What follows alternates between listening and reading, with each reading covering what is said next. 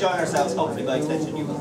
And after a couple of hours with us, come 10 o'clock or so, you will be total and utter experts in traditional Irish music and you'll love it more than you ever did before, or you'll hate it and you'll never want to see it again. it's the kind of Irish music in the by opinion. So we're going to be your musicians and your guides. I'll introduce you to the band. Here it is, it's Dermot!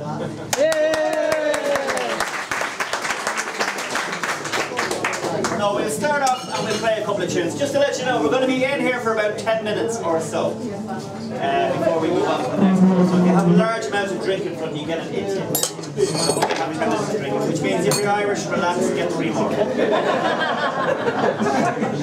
I'll start off with playing a few reels. Uh, I won't get too much content here because the next two folks do their own five so it's not easier to bring. So I'll start off with two reels, make famous by a